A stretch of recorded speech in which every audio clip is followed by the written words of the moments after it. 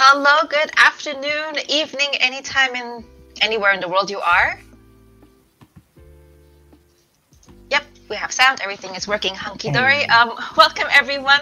Um, we are continuing uh, Ladies of D&D celebration of Indiecember, and today we have an exciting uh, panel featuring some indie game creators here, and um, we're gonna have a good time.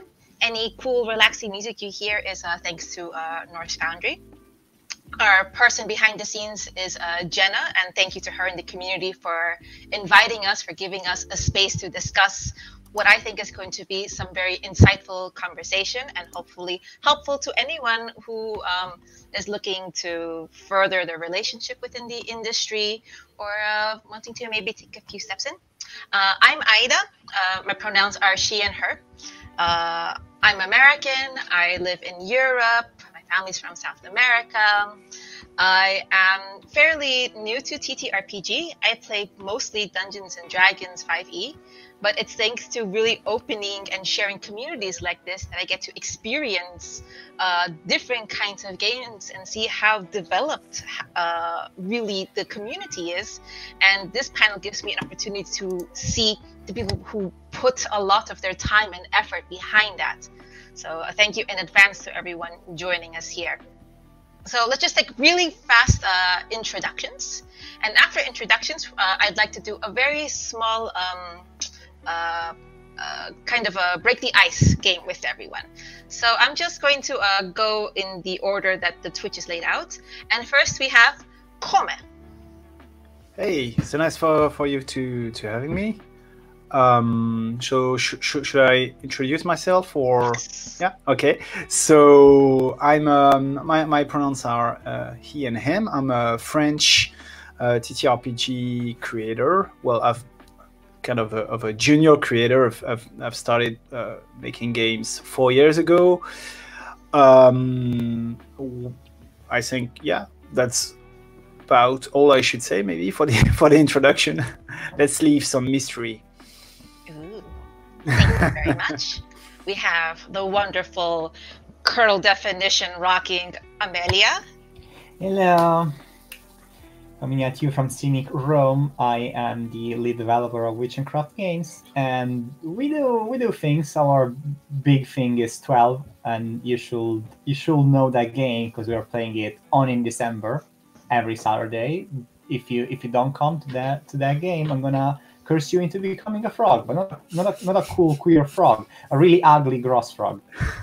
They're beautiful too. It's just how it is. Thank you very much. And last but not least, we have Mansfeld. Yes. Uh, hi, hi. In December, my pronouns are he and and him, and I am the uh, TTRPG, TTRPG uh, uh, blogger and creator. I, I, could say junior creator because I tend to I started to create the TTRPG games like well, I released my first game in the October this year, so it's very recent actually. Um, yeah, and that's it. Okay, thank you very much. Um, for anyone in the audience, uh, we'll be taking questions. Uh, if it's really pertinent and juicy to what we're discussing, we're going to slide it in. Otherwise, uh, we're going to have it um, towards the end or after we finish a topic. We'll be taking breaks every now and then to stretch our legs, uh, drink some liquids, and have some fun. But first, as promised, a bit of an icebreaker. And I have here a very cool game called Seal of Approval, which might sound familiar to one person. this is a little game developed by Mansfeld, actually. And um, I'm going to play this a little bit differently. So, the premise of the game is everyone here, myself included, we're all seals. You know, the Altric animal, they live underwater, they go like this? Aww. Yes. Normally, the game is played via a checklist, but since we are kind of here, uh, I'm going to provide a list. And your job is to give your seal of approval or not. If you agree with an item or you give it your seal of approval, please clap like a seal. This is your seal of approval. If you do not give an item on the list your seal of approval, please raise your seal flippers and go no. so let's begin. Dignified, extremely. do you give your seal of approval to hunting fish? I mean, if you're a seal If I am Yes, seal, oh, yeah. I, I have to, like contractually. right? It can be any just it kind of seal you want. So The only two one that doesn't, I think, ants. I think it ants penguins, so that's even like more objectionable. Now, according to the game, if there are seals who approve and disapprove, it is an opportunity to come together and discuss whether we can maybe bring it to an approval or we agree to disagree. Mhm. I mean, Amelia brought up a point that seals have to eat fish, but I think uh, Mansfeld and Com have different opinions. Yeah. Well, I don't know. It depends if I'm Com the human or, or come the, the seal. Yeah, I guess as a human, uh, I, I, yeah, I'm kind of on the fence about it. As a seal, I, I kind of agree with Amelia. I think I have no choice if I want to survive in the long long run. I, I raise you a point though. If you're a human, the only way to eat swordfish is through hunting. And I don't know if I'm ready to live in a world in which you don't eat swordfish. Okay, we, we agree to disagree. So we- we Yeah. won't go through the full list. So on that topic, please let me know if you give your seal of approval or not. Being vegan. Uh, yeah, sure. Okay, you I have to put a lot of work in it. I'm the only Like you one have to put a lot of work in it. And you know what? If as a seal or as a human, I am educated and smart enough to find alternative methods to uh, get my food on, then I will approve. So we have consensus. I think it's like it's a matter of like it's really hard to achieve. You need to be in a very privileged position to be able Um, to do it. I'd love to be a privileged seal. that's true. and I am not a privileged seal, so Okay. Next next item. As a seal, do you give your seal of approval as seals to chasing penguins for fun? Oh, sure. Seal of approval, unanimous. Um, that's a no-brainer. and the last item, as seals, do you give your approval on approving things? no. Ekit, always say no. Do we agree to disagree, or do we want to try to bring Amelia onto I am fine approvings? with I am fine with spearheading the, the, the resolution or whatever the whatever the name for uh, for the, the, the rising of the of the revolutionary seals is gonna be. I think it's just for me that clapping is much uh, more fun than just shaking your hands. Look, Flippers. look. Flippers, right? Maybe we can agree that if a seal of approval must exist, then ergo, perhaps a seal of disapproval may also exist too. It's an interesting question, actually. So that was um, a very short game developed by Mansfeld. Thank you for uh, I didn't ask, That's but uh, very cool. thank you for creating it because that's a, a, a nice silly way to just like kind of break the ice as seals who also like ice as well. So um, now for a bit of the the meats and bones of here while the seal uprising is happening. So um, we're here because you are all creators, whether you label yourself as junior or professional, intermediate, god of all creators. Um, see, don't flaunt it. Um, for me, as a layperson, especially perhaps as I was a child, playing, I'm aging myself here, but uh, playing NES Super Mario, I think uh, there's a difference between me playing on the controller saying, oh, this is insert opinion. But perhaps a lot of you, uh, developers and people in the audience here especially, were playing this game or any other game and thinking, if I was the one making this game, it needs to have this. So, my question to you is uh, from an early point before you started developing games, as you were playing games, what sort of elements did you feel if you could make these games? Now you are. What are these games I love missing? What would I add to these games? And I want you to also ask yourself are they mechanical or are they storytelling? So let's go backwards from the introduction. So, uh, Mansfeld, if you could start us off. Ah, well, the question about the question was about what what to add missing to the game or overall Yeah. about What what the, what do you when when you were growing up, perhaps what did you miss in games that made you think I need to make games that have this thing that I missed? I could I say want- that uh, when I started to play the ro- t- t- uh, tabletop role-playing games, the games that I played uh, were were missing about actually the component of making story. I mean, I mean making. I mean having the procedures, rules, rulings, or at least well techniques actually to to actually engage in into making something that is wasn't created before the game. So those games that I played like D and D, Warhammer Fantasy Role Playing, Savage Worlds, or such, they are they are uh, their premise was about the premise was about actually playing pre-made story, someone else story actually, and those game doesn't have a, uh, conscious uh, conscious techniques to actually make it during the game. Only some ephemeras like task resolution or like making combats or actually or doing or GM doing his own stuff actually, uh, his uh, their stuff actually, their stuff. So, so no no no framework, no structure, no actually yes, no engine actually.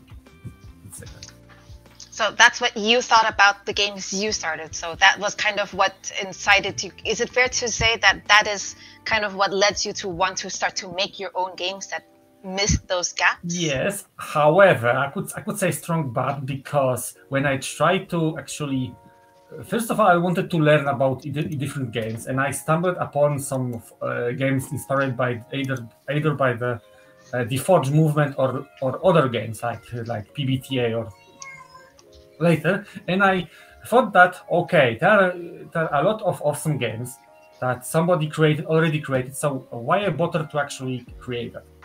because somebody already created that and it's it looks good. So why I, should i create that?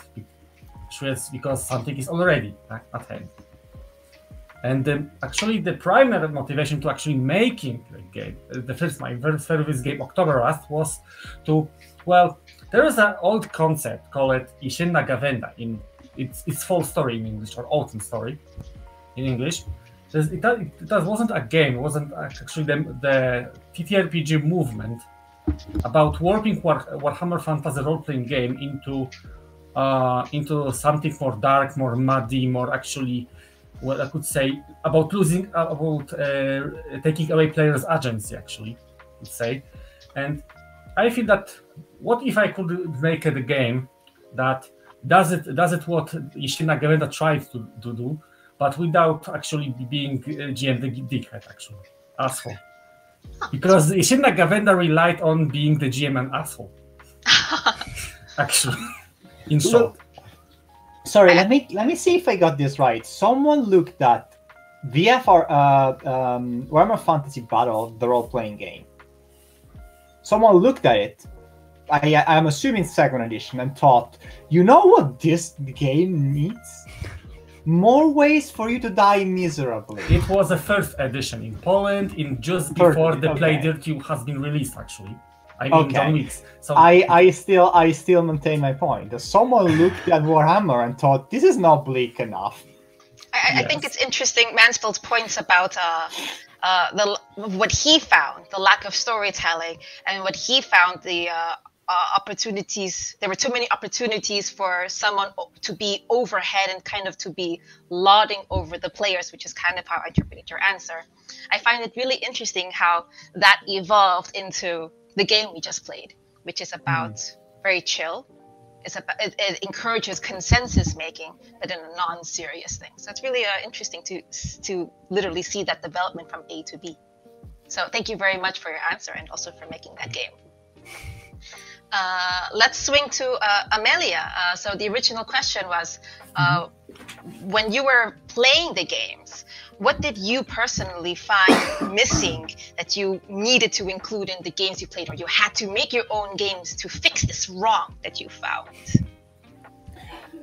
like let me put it like this i like to paint myself as a genius and maybe i am i'm not gonna, I'm not gonna. But it doesn't mean that there isn't like a lot of very smart game devs out there making games there is in fact many And believe me or not, most of the things that you can think about have been done. I guess really what I what I want when I make games is not just like it's not like oh this needs to be better. I'm going to I'm going to improve upon it. It's more like what is my perspective on this? Like how can how does my experience as a person relate to TTRPGs and what does that create in in a in a developing environment? Most of the games we make at, at Witch and Craft are very personal. Like they are extremely personal games that only exist because they are made by the person that made them. I guess like I guess kind of that is that is a thing though. Like putting your personal experience in the game creates a game that is that feels way more real than than just you know. Well, that's a game about uh, defeating the dragon and getting the treasure, I suppose. Yeah, it's just like you can you can see it when people pick it up. You can you can like you can you can feel it that something is passing from you to them, and I think that's like important. And you know, if I have to just point out one thing that like just mechanically that I think it's very important, like developing games that that and, and kind of moves from what Mansfeld was saying. Solving the GM tyranny is something that we have been trying to do for 30 years. And well, that, that's an answer. My answer was to make was to uh, give the GM a very a very specific role inside the game world and then create a numerical uh, a numerical value representing how far the, the, the, story had gone. So it takes away from the gm the decision of essentially who wins now what happens now. That's a number. Once you get to that number either the, the part that got to it wins. That's about it the decision is is being given to a third part that is completely unbiased and fair. Oh, that's really interesting. I especially like the point where you said that uh, it, if, if I can reword, you didn't really relate to the stories of going out and killing the dragon. I mean, um, 12 uh, Occult Eye and uh, Inner Demon seems to be mm-hmm. very much about personal traumas and not you, knowing you as a person. I can me, assume that it's kind of like flavored. This.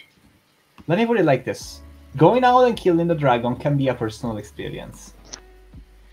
It's never, it's rarely presented in a personal way. Mm-hmm. I think, I think something that is coming out a lot in the new age of TTRPGs and something I am grateful to be here for is linking your personal experiences and making them a metaphor of the game you're playing. Because that just makes the story so much more real.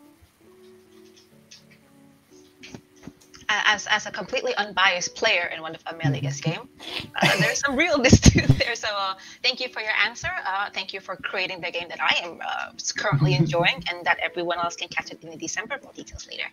Uh, Com, uh, last but not least, um, the original question was um, when you were playing games, what elements did you find you needed to include as you were creating them? Uh, well, yeah, th- that's a good rephrasing of, of your question because um, I, I, never, I, I don't think I ever, you know, played a game and thought, okay, this is bad, I can do better, or mm-hmm. or uh, uh, this is not the way to do it. And if I were to do it, I would do it in another way. I think it was more for me like, oh, this is such a cool idea, and I need to steal it for my next game. Um, mm-hmm. and, and that that's really how I started. I mean, my my first game my first games uh, were uh, one pagers where I just stole everything uh, from you know I loved from other creators. So they were not good games by definition because they didn't really add uh, anything uh, specific or original to the mix. But that was, I think, a necessary step for me to uh, get to the good part, so to speak. Um, but then, yeah, I, I, think for for my current way of creating um, uh, let me let me just before I answer, I want to to uh, uh, uh bounce on what uh, Amelia was saying about. I, I, love what you said about the GM tyranny because uh-huh. most of my the games I, I create are still games with GMs, but it it's it just so happens that I'm a very very lazy GM, and so. Uh, what I do and, and what my games look like usually is that there's a GM, but it's just there to uh, you know, like uh, launch the first scene and then just sit back, relax, and enjoy the, the looking and listening to the players um, uh, interacting with each other. And um, that that's really something I, I like to do and I like to to uh, implement in my in my own games. But yeah, other than that, I think it's just it's mostly about um, uh, character interaction for me. Uh, I love drama, so you know, the, the more drama there is, the more uh, history there is, the more uh, interesting in, uh, interactions there are between the characters, the, the better it is. And um, so that's, I think, one of the things I, I try to always have. Uh, the other thing, and it's also uh, related to my laziness, is uh, the complexity of the mechanics. I feel that many RPGs are, you know, too complex for their own sake and that you can usually simplify a lot of stuff, uh, a lot of the uh, uh, dice rolling and, and, and, things like that, and still uh, keep it interesting. So. Uh, with time, I find that I'm more and more into not entirely. Um, uh, I mean, it's it's always narrative driven. It's it's not um, I, I, forgot the term, but it's not entirely without rules. It's mm-hmm. more rules light than anything. Uh, but yeah, if if if the rules, you know, if the summary of the rules is longer than one page, uh, that's not for me, basically, because I have a very small brain. It's actually ah, quite kind with apologist.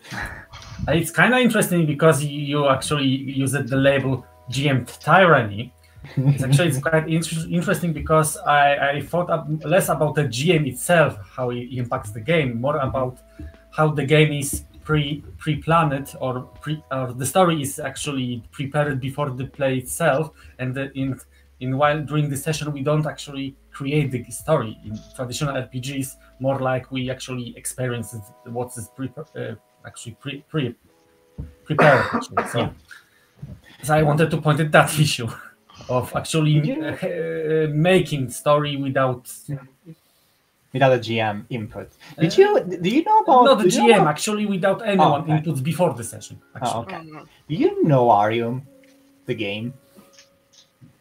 You should look it up. Uh, Arium by Adaptive Icarus. You should look it up because it's uh, uh, it's basically a setting creator uh, a setting creator manual. It's it's very cool. Okay. And basically, like it's one one book, it's about creating the setting, and the other is about creating the system that you're going to play in the setting. Nice. It's actually super super smart. Uh, yeah, no, the people that the people that made it that make it are like so good at it. Toss, toss also, it in the chat for someone else to uh, start googling as soon as, oh, yeah. as fast as they can. Yeah. Um, uh, so well, also, like, go ahead. Can I? Com, is it am I wrong in thinking that we have something in common? Are you were you, did you also used to work in comics? Uh, no. Because you talk like a I, comics I, artist. I wish. Uh, the last comics I drew were when I was 15, so no. you talk like a comics artist, basically like me. it like you know, stealing is great, agreed, large agreed, and also like in gen like uh, simplifying is also like a big value well, and i also agree i think very that, like comics yeah. artist points that's because okay so actually in real life i'm a, i'm an english teacher so mm. i think you know that that bleeds a lot into what i'm doing because simplifying things so that students can understand and and uh, you know going straight to the point um, helping them to to uh, remember uh, the the, the most uh, important part and forgetting the rest. Yeah, I think I think I, I do that both as a teacher and as a, an RPG uh, player and, and creator. I think that's an interesting segue because that's actually something I wanted to discuss about. And it's something that both Amelia and Corme uh, talked about, where Amelia essentially said she wanted to uh, avoid reinventing the wheel. And Corme was like, but at the same time, I'm excited about all these ideas and they're worth uh, hashing out and enjoying again.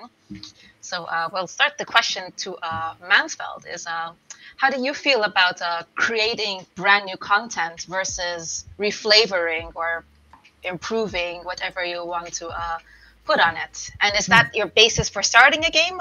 Yes or no? I could say that.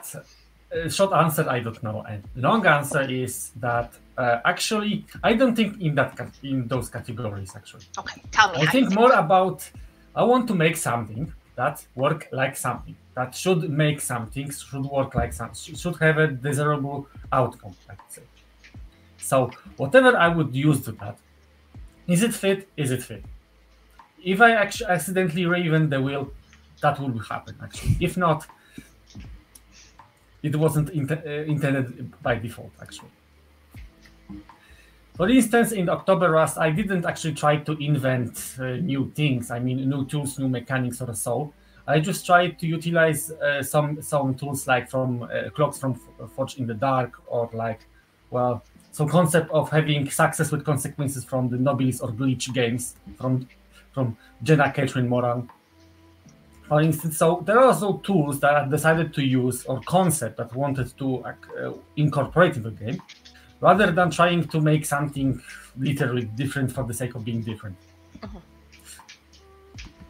Thank you very much for your answer. So let's uh, go uh, counterclockwise back. Uh, am I doing that right? Yes, uh, Amelia. Mm. We don't hear. Yeah, Amelia, I think. Oh yeah, sorry. There you uh, reinvent, reinventing the wheel is fine though. Like, there is nothing wrong about doing something that's already been done as long as there is like a spin to it, you know. Uh, a lot of the mechanics I use have been lifted from games that I play, and I just think, yes, this mechanic looks really good and works perfectly, and it would work perfectly in what I'm doing. I guess like when I start when you start making a game, uh, the mechanics tend to come by themselves. You have to you have to you have to put to, you have to put before yourself like the level of complexity you think the game needs to have, and like um, everything kind of flows together once you've decided that. Like the the, the first thing you should know is essentially like what's what's my granularity? Like well how big of a die I need, and the second is like what is the the, the smallest thing that needs to be mechanized. And once you got that, it's it's all downhill from there. Honestly, mechanics are mechanics are a giant fruit basket. There is so many of them, and you get to just cherry pick all of the cool ones, and you slap them together. And if something new comes from that, score. Otherwise, it's probably still still playable. You know. Everyone likes smoothies. Like I am. I am not sure what is new in most of the games that come out today and are still good games. So what's what what matter, right? I mean, yeah. Uh, go ahead, Com. Well, I I mean I, I agree with uh, with Amelia. I mean the, the biggest uh, trends, if I can say like yes. this, like the the uh, you know, uh, PBTA and, and belonging outside belonging and, and things like this, uh, which uh, then spawn a whole lot of, of uh, other games. They do that because the their mechanics is, is very good. Uh, and it works. And so, if it works, we shouldn't try to. I mean, it's good if you if you manage to invent such a, a cool new mechanic yourself, and then everyone steals it for their own game. That that would be. I think that would be the biggest uh, honor for me if I created something and everyone was like, "Wow, that's so cool! Uh, I'm using it for my own game and I'm not cr- creating you or anything." Uh, I think I'd be I'd be fine with that um, because uh, yeah, I mean, if if the wheel is looks great and and and you know it works, uh, I'm not going to say no. I'm doing a square wheel because I want to be innovative. Um, yeah, let's let's use what works. And I think the other thing is. Um, the, the the part where we can be innovative is in the mix and match of things. Um, we can, and, that's something I, I do quite often to take. Okay, there's this part I like from this game, and this part from this game, and uh, you know uh, somehow that's the perfect mix I need for my game about uh, such and such uh, subject. Um, you know, after a while, you you read so many RPGs that you've got these little uh, notes in your head, and and and so they come together almost without you thinking about it. Like like Amelia was saying, you're you're just saying, okay, I need a mechanic to do this in my game, and once you have this core element, then you you everything will will organize around it. There is also like there's also a consideration to make. I think I make games for a living. My my day job is making games. I don't really have the luxury to be like uh, an hobbyist painter who is amazing at his job, but only paints when they want to and spends like years pursuing the perfect stroke. I need to get out something that works in time for my next for my next check. Mhm. You know, and when when you when you live in a, in such a, a a situation, what what what you need is to make a game that works in in a deadline, and it doesn't feel like it doesn't feel like it's completely stolen. Taking inspiration is fine. Lifting mechanics is fine. It's it's a job after all. And you know, I I made I made twelve. We made the last masquerade. We made uh we're making like Vampire Catboy Make a Fan, the other like small game that comes with it. We're making another twelve. I am working on in my own time on Witchmech. That's like I am going to be fine if only one of these games is a winner, you know? Like in if in if in six years I make six games and only one of them is sick, that's still that's still a win to me. I think If only one of them is really interesting creates points creates about. new stuff, you know, that's still fine. I think you're raising really interesting points about sustainability and potential retention. And that is absolutely on my list of questions, and I'm going to Yeah. come back to that point. But um, we had a question in the chat that was related because we were talking about mechanics for a while. So um, the question was if you had a particular mechanic from any other TTRPG, but because you're indie creators, you guys are the other TTRPGs. So um, is there any a particular mechanic you're really fond of, or one in your games that maybe you want to take an opportunity to highlight now? So let's go backwards from where we were the last time. So I think we start with Korma. Uh, can I ask you something first? Yes. Because because I think I saw that question and it's specified from a game that is structurally unsound. So it has to be something from a. ga- It has to be a mechanic you like from a game you don't like. Well, I had the question: What is the coolest mechanic you ever encountered? Oh, okay, it might be a different question then because I saw fine, that I question. see two questions. I see. You know, you know what? Okay. Yeah, yeah. Cool can be cool as in, um, no, it's a bit of a dark example. Noteworthy. Let's let's Mhm. change it Yeah, there. yeah. So, uh, Kome, we can start with you. Can be someone else's or your own because I think we think you're here. So what you cool. well, I think I'm going to to um, cite something from another French uh, creator named uh, Vivien Féasson. He's got a, a, a game in English uh, called Libreté. So the, the title is in is in French, but the, the game is, is in English. Um, and it's it's uh, very simple, but it's an idea that uh, you know I, I never really considered before, and it ties back to what we were saying about uh, GM tyranny before. Mhm. Um, this is a game that uses the um, uh, PBTA system, uh, except there's no stats, and when you roll something, uh, you just add um, uh, a kind of token-based um, uh, score. Uh, I forgot what it's called in English. I think the uh, black uh, something. I, I forget. Anyway, uh, the thing is that these uh, tokens are not given to you as the result of an, an, a failure or a success or whatever. You actually um, so th- this is a game where you play uh, children in a, a world where adults have disappeared, and it's a very dark and scary world. And so you actually pick these, uh, get these tokens every time your character uh, gets scared. But the thing is, it's not the GM who decides uh, when you get scared. It's it's yourself as a as a player. So you um, you have the choice as a player to take these tokens or not, which uh, they're going to help you in your roles, but at the same time they mean that your character is more and more scared. So I think that that was a really cool way to you know combine. Um, the feelings of the of a character with a mechanic, and also to let the the players uh, choose themselves uh, how they want to to manage that rather than than the GM. That, that's really something I, I, I love, and I, I didn't really uh, use that in my games, but um, it really inspired me to give more and more uh, control to the players in, in even in games with with GMs. Uh, you know, just to say to the players, okay, I trust you. You know your character better than me, so just do your thing. Uh, tell me what works, and then I'll I'll uh, work with that. That's a really interesting way to kind of uh, bundle risk reward, but also uh, encouraging the player to take more control, and the and the DM doesn't know either. That, that's really um, Mm-mm-mm. that's really daring, I would say, in a really positive way. That's cool. Thank, thank you for uh, sharing. Uh, Amelia, what is a, a, noteworthy mechanic in TTRPGs you want to discuss from your own games or someone else you found, Sorry, somewhere my- else you found noteworthy? My brain is stuck on that answer, mostly because you know that I also work on like fear as a mechanic.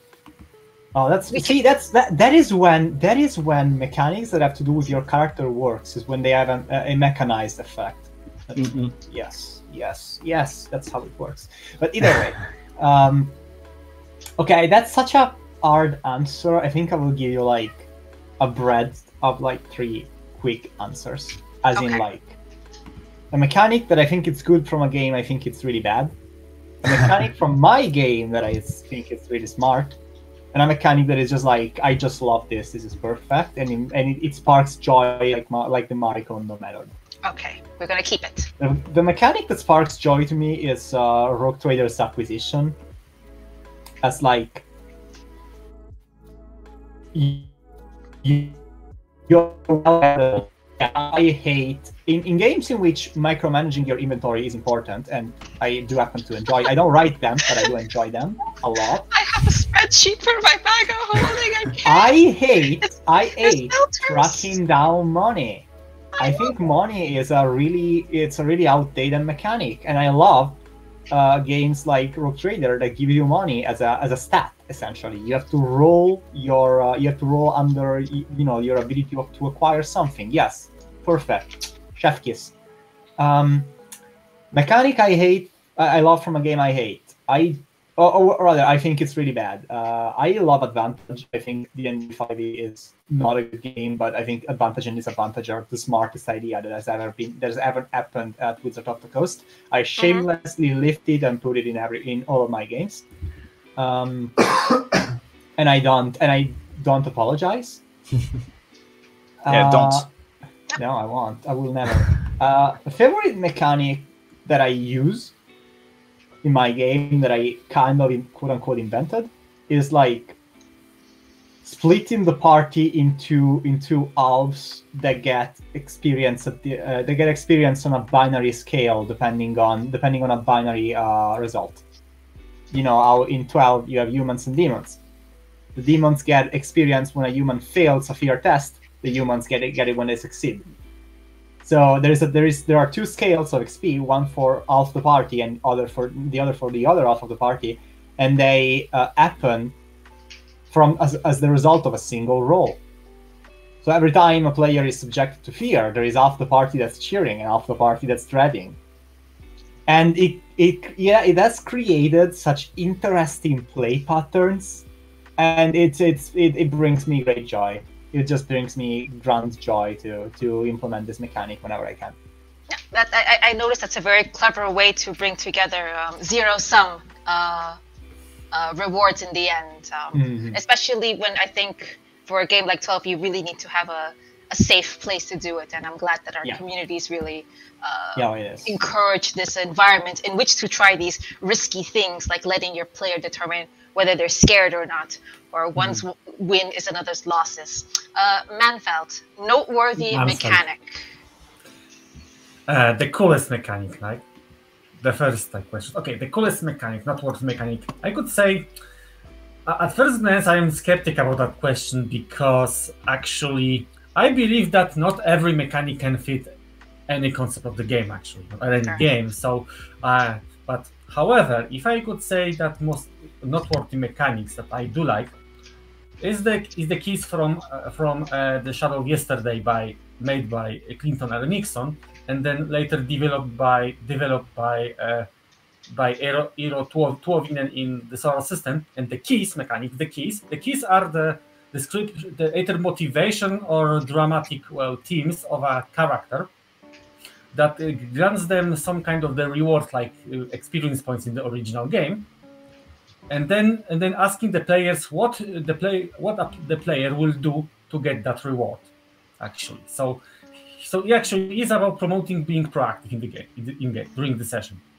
actually. And and the key itself has a has has its own uh, criteria about uh about criteria about how, how much xp you will get for example. Like for example you get more xp for something more dangerous or more actually escalative or something like that uh, but also keys has a uh, has a uh, has a another thing like call it the offer. The offer works like that when when you encounter the, the something that actually is the opposite of the of the, of the exact theme. For instance, if you are have a, the seduction key and you encounter the possibility of uh, not not not making a seduction or refusing somebody's attention during the scene you can turn you can uh, turn off the key by using the offer gets uh, uh, a lot of xp and actually never ever pursuing that that motivation. That motive to seduct people to seduce people actually. I think that the key the, the key itself an interesting way to actually engage the player in, into making improve story according to what they want actually to play However, one down, however, one dice, uh, downside of, of the keys is that they need a player who really knows since the beginning what he wants to play. Actually, otherwise they they are just inert. Actually yeah, they're a bit passive there. That, that really ties into what you said that one of the things that drew you to creating games was the ability to story create. So it really matches that one of your hero I could mechanics. say that tarot and stick uh, stick mechanics actually. Yeah, but it, it prevalent. matches very much. Especially that the uh, the keys idea actually isn't actually dead in the TTRPGs. Like for instance, uh, many PBTA games like A Dungeon World or Monster of the Week has a um, uh, has a mechanics like if you roll six six or less you get one XP. It's actually the hidden key mm-hmm. about uh, get uh, getting engaged in something dangerous or risky. Exactly. Another example are another examples are Blades in the Dark and its uh, experience. I could say experience system in uh, either for the character or the crew, because the wording of that system is literally you are having experience points when you do something desperate. You had something like uh, when you do do team of uh, you the thema, uh, topic of your uh, playbook and so on. Very interesting. Thank you very much, Mansfeld, for your answer. Uh, we're going to take one more broad question, and then we're going to go to a break, and then we're going to continue. But for that question, um, I think uh, something interesting for a lot of people who are wanting to develop games and deciding at what point do you stop decorating the cake you've been decorating for like an hour? When do you stop? When is it ready for playtesting? But um, uh, someone uh, mentioned uh, the the food um, metaphor that once you know how to cook things, once you know how ingredients work, you can just kind of put things together with the recipe. So uh, my question to you actually is going to be um, uh, can you dis- discuss if the, if there have been uh, elements, ingredients, so to say, that from games that never saw the light of day that you're like, I like this idea way too much. The original, I don't see a place for it, but I'm going to bring it, and I have a place for it in a new game. Um, for example, I know Mansfeld, when I was doing my research, you mentioned on one of your blogs that um, you said maybe it's one of an one of an unnecessary project, but the playset playset itself was important for me. it helped me to fix October Rust.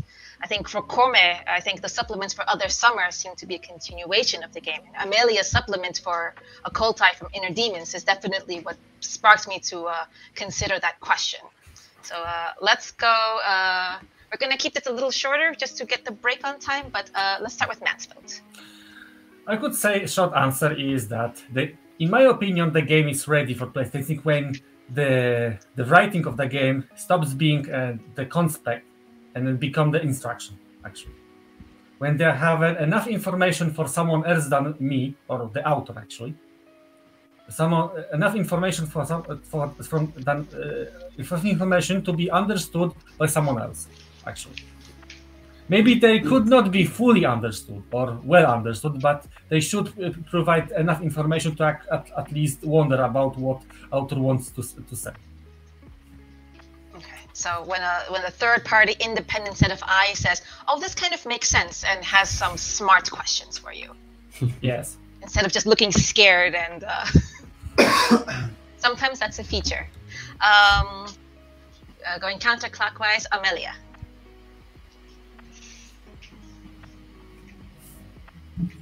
No, Your uh, mic is uh, muted, girl. Yeah. The game is ready when you pitch it to me, which means the first minute of the of the of the meeting that we do to to talk about it. And I know that this that this sound a little sounds a little um, aggrandizing, but let me explain. When you when we at Witch and Craft when we when we put out a game, when we uh, go to the rest of the crew and and, and ask, hey, uh, what about this game? Usually most of the mechanics are already there. The fact is that like many of us spend so much time putting together mechanics just as like as an just as a off time thing that at the point in which we start pursuing a game seriously we just go grab you know oh we did this like two months ago and this was like something that i thought for another system. Pop pop pop. Put them together when this has not happened, the times that we actually try to do something uh, like making it up as it uh, as it went, it didn't work, and it became kind of a cemetery of mechanics that now we pull from to make other games. What I'm saying is that like the moment you want to work on this seriously, I really advise having like a lot of mechanics that you don't have a place for just float in there and as soon as you pitch a game you can look at them and be like this this and this. These are perfectly uh, these, these work perfectly in, in here. And you need to know like how mechanically uh, involved this, in the, is this game. Cool that's the amount of mechanics we need. Now when you when you keep making it you will probably add things as it goes but the the the bad I think it's better when you start the game and you're already at like the idea of what that game looks like. So you're like every, you're everything else is pitch. frosting. Everything else is frosting. Okay, Korma, when is Well- that game ready for playtesting? Uh, that, that's a that's an interesting question for me because, uh, as I said in my introduction, I started by uh, writing uh, very small RPGs. What what I did for two years uh, was to write uh, to release one game every month, which was usually between one and I think the longest I did was was ten pages. And they were all over the map in terms of, of ideas and, and mechanics and, and things. But um, this constraint of having a, a very you know precise deadline i need to have a new game out every month meant that uh, i couldn't really uh, have the luxury of saying okay this doesn't really work uh, i need to refine it i need to spend 10 years on, on this idea and test it uh, you know.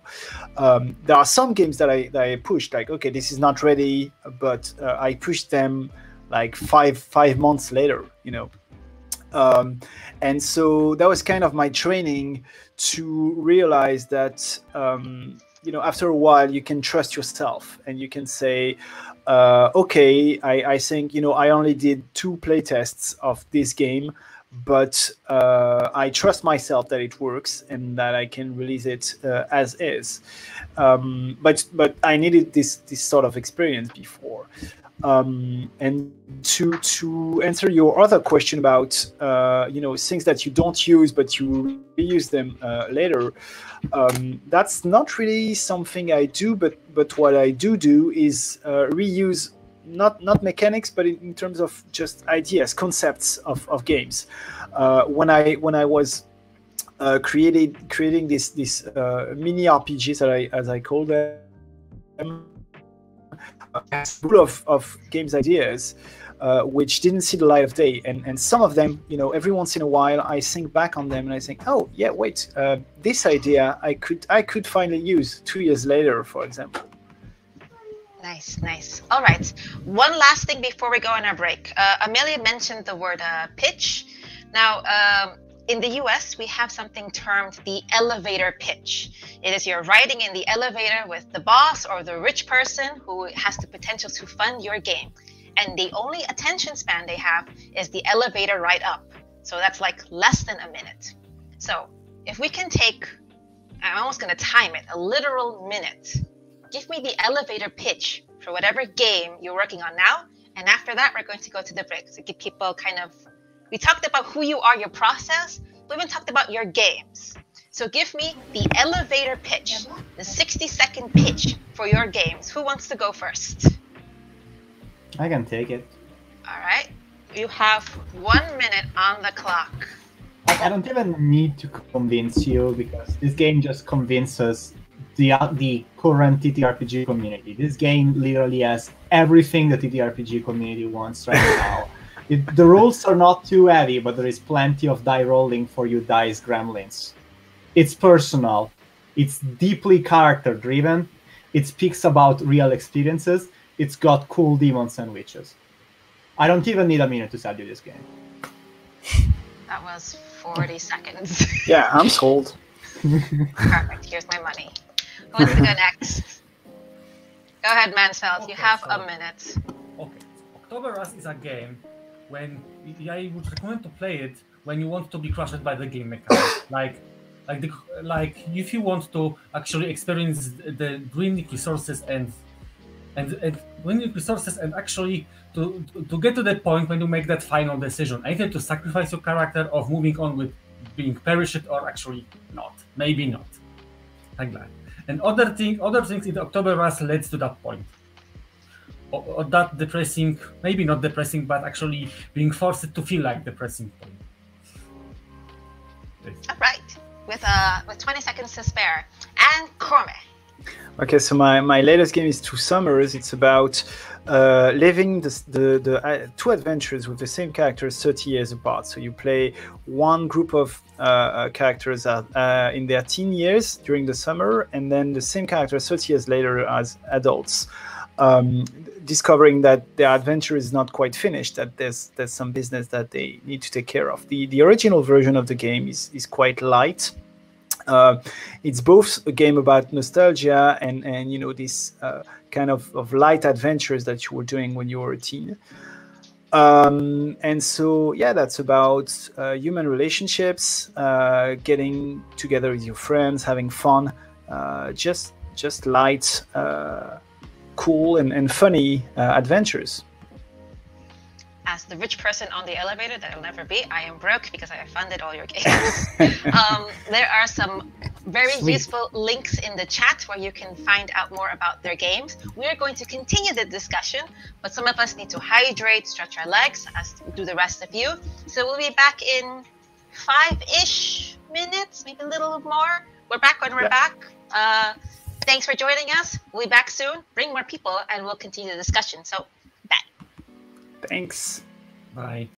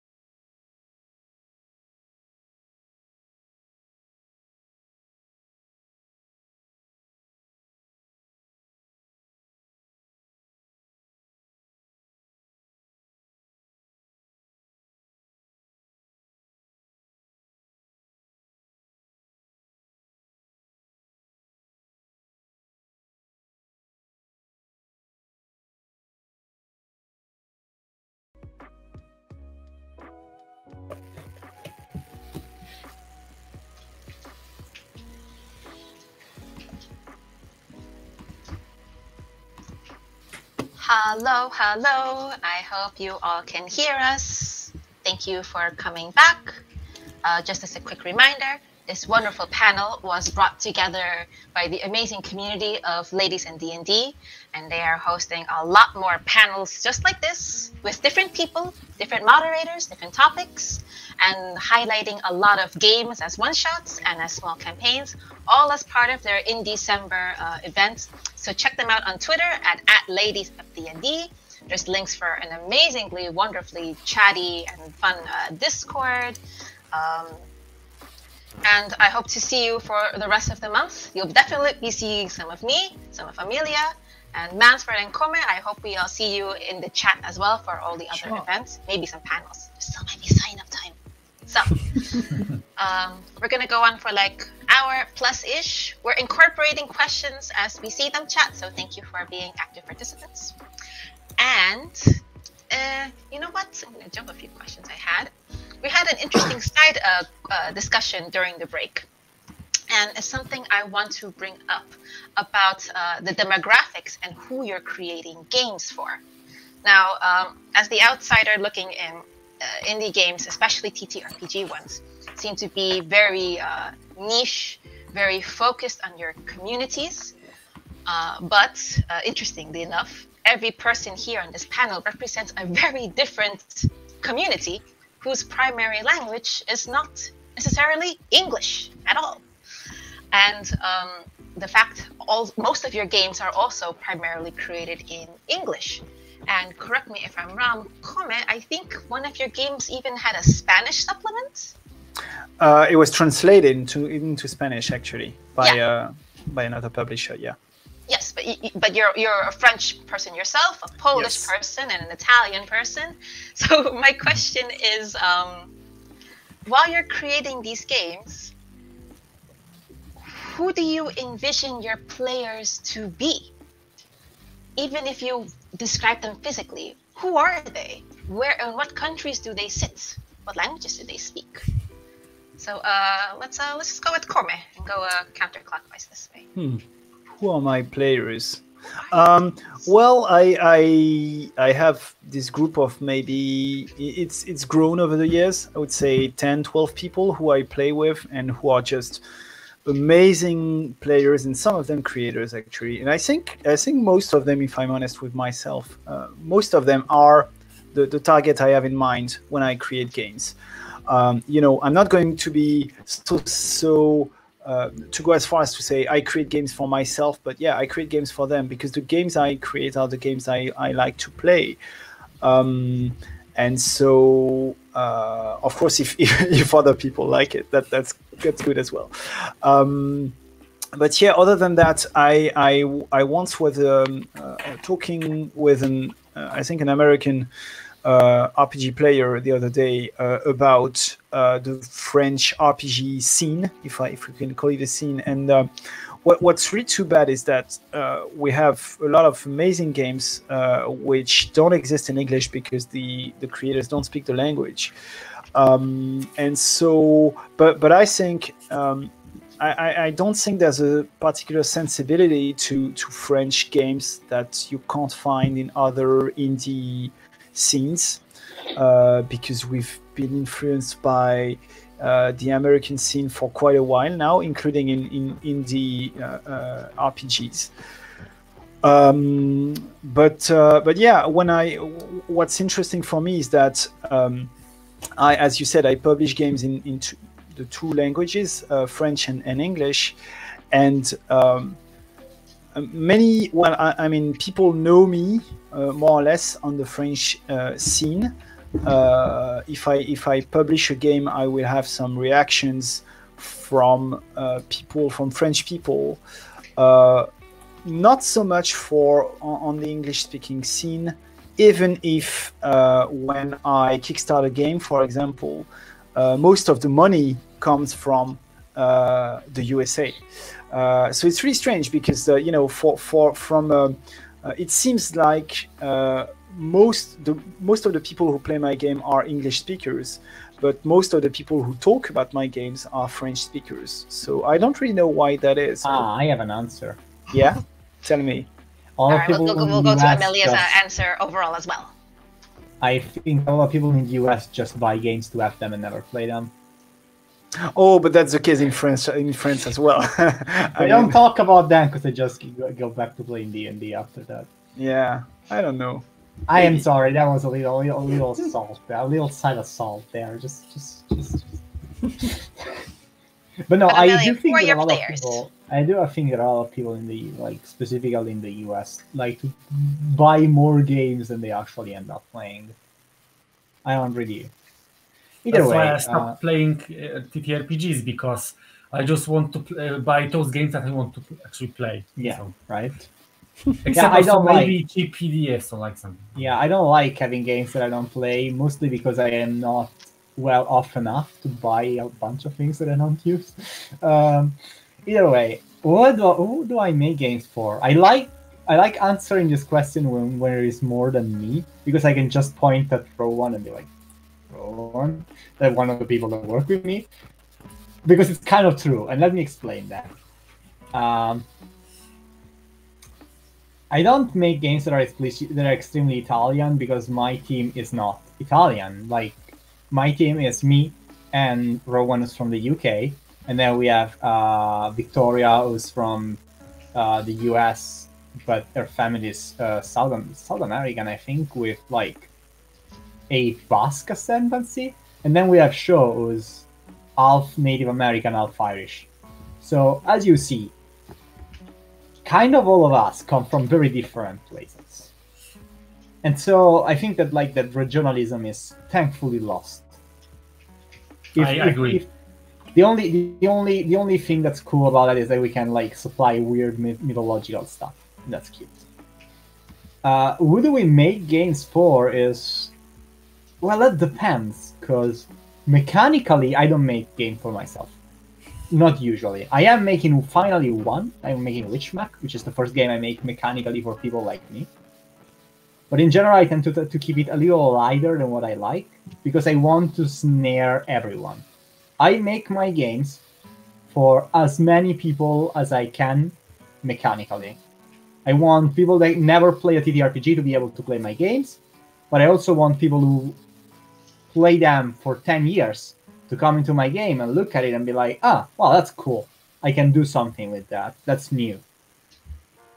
Flavor wise, I think we definitely are slanted towards uh, towards kind of like our age of progressively minded people, essentially. Um, I'm 27. The rest of the team is between 22 and 28. And don't look at me like that. Don't look at me like that. Uh, except except Ek, who's 34, she's honorary a a uh, a um, a Witchcraft member. But in general, we tend to make games for the um, for the kind of demographic that we represent. That is like young, like millennial, uh, millennial uh, slash Zoomer kind of people who have a uh, rather progressive outlook on like social and cultural issues. And we attempt to make it very clear in our games. This game are not friendly to a certain kind of people so we don't we don't want that. Don't it's the classic like fascists don't need to buy my game you know i don't need their money and that's uh, that is a, that is a thing that we that, that I, I hope it's kind of clear with the games that we do But just buying uh, to collect it anyway, like you said. yeah, uh, yeah. In general, I guess that's that's our demographic. It's people like us because we understand people like us and we can relate to people like us. Thankfully, a good chunk of the TTRPG communities happens to be people like us, young young queers. I'm holding up a mirror to a camera with a light that makes no sense. Anyway, Mansfeld, who are your players? What do th- what do you envision? Actually, like? I didn't aim it at particular demographic. I aim it more about that making the games. I mean, particularly one main game, but actually all two of games to make to make accessible to to somebody who to everyone, including especially someone who didn't play it TTRPG game, uh, game session or whatever. Actually. I wanted to play the game that can be played without any bias, except of uh, okay, everyone has his own bias, but but uh, that that game in general, to, in order to be started, it doesn't need to be other bias than just well reading the pages during the prep, actually, something like that. And essence, I thought about especially October Rise about making the game that that actually uh, for someone who, who wants to be well compelled by the game that want to actually play not your not mine or ever else the game to want to play the game itself actually to experience the how the game uh, how the game works actually how the game leads and uh, propose the player as propose how how it makes the play actually so i'm interested in in the in the in the, in the people playing who wants to uh, experience the I could say instruction itself actually. What what what is what is be, what is between the interaction of instruction and the users action. So it's what comes by using the instruction. What what are the effects of that? Because I think that making a game actually making a game is a game is actually kind of a social con- control action. We control the people by making games and uh, forcing them to do certain things. Like in, for instance, safety tools. I, I, I put the entire pages in October for the safety tools, mostly to ensure people that the game will, will bring some hard topics like depression, uh, sacrifice of your character, depress, uh, ray, ray, weather of sins of the past, etc. And I wanted to ensure that if you want to play October Rust, you need to accept that people have their own boundaries and and you need to care about each other because the game will not care about and so I think it's a fair generalization to say that to bring together Amelia's point.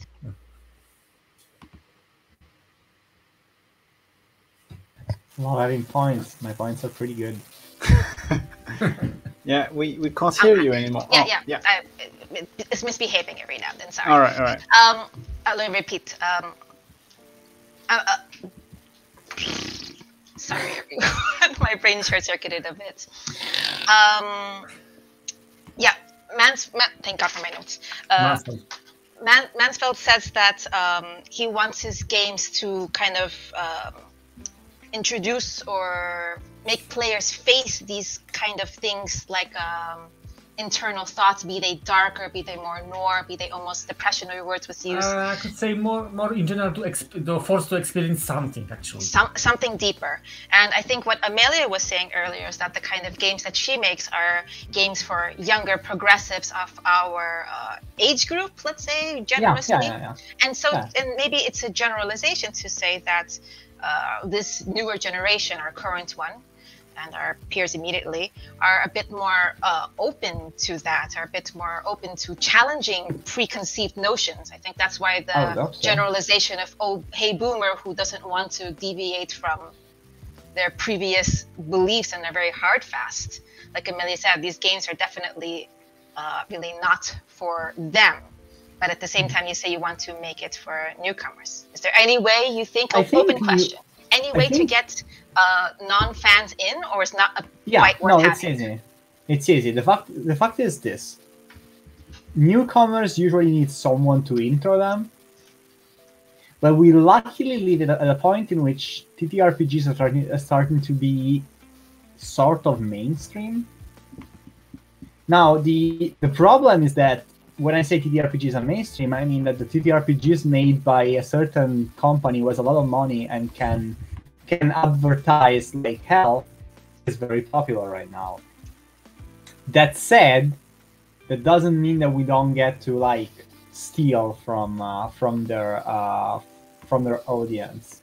But in general, I feel like every time I talk to someone who's never even played the, the game with the dragons, and be like, "Yeah, I make tabletop TTRPGs. Would you be interested in trying?" I don't remember like someone of my age who told me like from from someone from my community center that I used to uh, hang around quite a lot that uh, that ever told me like no that sounds silly. Like they were they were like yeah that sounds interesting and cool. Mostly actually I don't want to make it a gender discussion because but uh, everything about the media is a gender discussion I suppose but a lot of it, a, lot of it happened in like a rather, um, a, a rather feminist outlook, a rather feminist group. I feel like in general, girls and like uh, non-binaries are like more likely to go for it.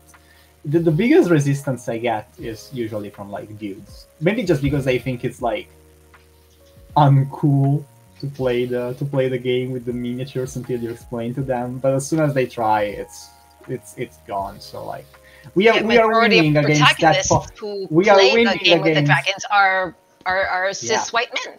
yeah, we are winning the, the we are winning the war against toxic mas- masculinity. I, I I assure you, it's it's going well.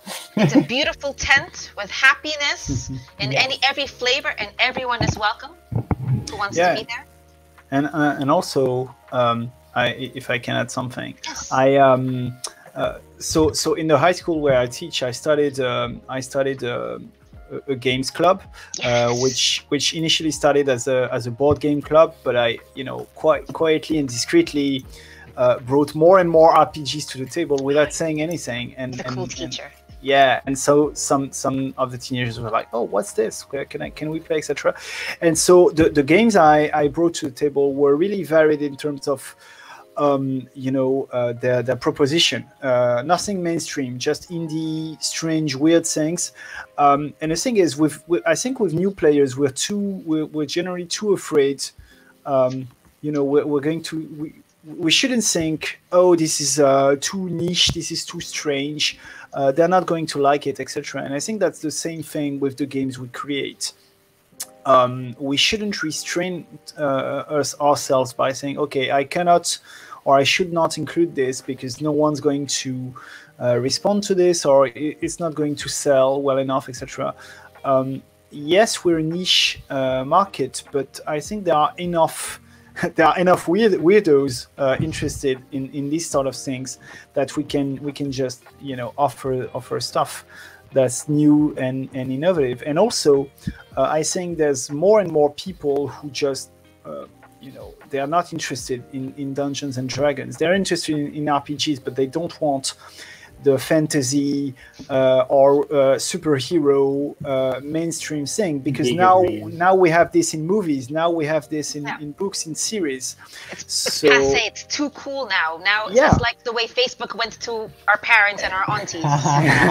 Uh, it's not it's not just a question of too cool it's Oh, also it's oh. also if you if you need this uh, if you need this in your uh, as as an imaginary world where you can uh, uh, escape uh, you already have movies and, and series to do that whereas uh, if you need to um, hunt demons or if you need to you know whatever there's there's uh, uh, the only place to do this is in the rpgs so I think that's uh, the, the, the fact that we create games that are uh, unique and, and strange and innovative are more an asset than a weakness.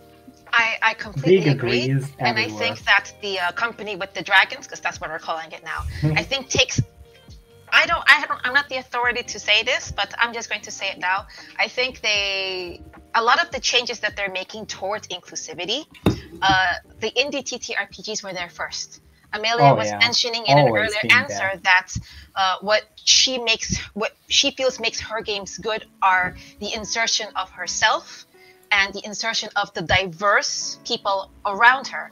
And as a form of as escapism, as diverse people, as people in minority groups, underrepresented groups, uh, that is uh, better. Uh, it's it's more fantastical to be the brown girl with power than to be the elf with the magic wand. Yeah, totally. I, uh, I'm not, One not sure way more about that, fantastical, but and that reality love is like elves, but, amazing. uh, I, you know what? I feel like it's more easily just like we are starting as a as um starting uh, as a generation to realize how cons- constricted and alienated from our passions we are from you know I don't want to say the word with a C, but I'm, I'm gonna say capitalism in general. Like we are our fantasy, our creativity is killed every day. And I think the RPGs come to absolutely come to the rescue when it comes to that. They definitely allow the like the ability to evade, to create, to invent that is like so important to retain. yeah, we, we do we do God's work. That's all I'm gonna say. God's work has to be spread, or whoever's work has to be spread uh, far and wide, especially in this day, day and age where, because it's a pandemic and we can't all come to the table as often uh, anymore. Uh, so my next question, the segue is, as uh, in-person playing becomes more difficult, how much development time do you give uh, to online tools and digital tools, uh, like for example modules for Roll20 or something? Uh, I know, for example, Mansfeld has uh, provided Google Docs with uh, the games that he's developed. So why don't we start with Mansfeld and go counterclockwise around the table there? Okay, sadly, I didn't develop any uh, Roll20 or a Foundry module for both of the games. However, yes, I decided to develop develop the uh, the Google Sheets for Octoberfest first because first of all, I made the playtest in online, so I needed something that to to either have the character sheets or actually the adventure list. Actually, so Google Sheets are very, very handy way or not trying to circu- circumvent the wheel of in the Roll20 actually to make actually need just well this Discord dice dice roller and the Google Sheets actually. And this accessibility i think how, however i think that i could put something do more something about it about being more about making the game more accessible for online user for instance i could actually hmm, i could say hmm, think about uh i don't know what to say uh, okay I—I—I I lost in the mind actually what i wanted to say in, in, in the end It happens. I know firsthand. He was Uh, do you want, and then he want to take a minute? I can go back to someone and come back to you, or Okay. do you think you're going to get it in 30 seconds? okay maybe let's do the another person Okay. Uh, let's uh, let's just go diagonal to Com.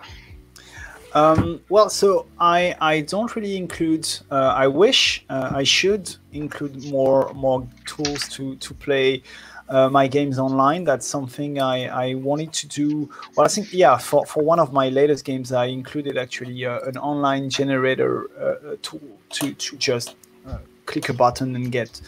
Uh, dozens of prompts, but but yeah, usually I don't. However, um, I also uh, have been playing online for for years now before the pandemic uh, hit actually because before that there was also the uh, uh, the, the, the great uh, and sad uh, going away of friends who, with whom I, I used to play RPGs with. So most of my games have been online, and so when I write a game, it's usually um, in my mind uh, first meant to be played online and then maybe around the table.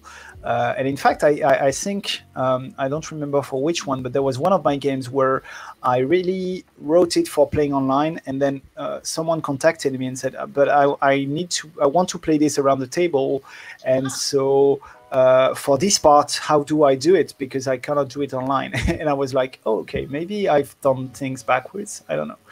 Um, but but yeah, uh, I it, so there's not a, a specific tool, but it's more like the general uh, playability of it online uh, in mind. So no, uh, yeah, you know, not, nothing too physical or too material. Although I, I love games where you have to uh, rip up uh, pages and staple them, etc. I'm I'm not doing that because I I won't be able to do it online.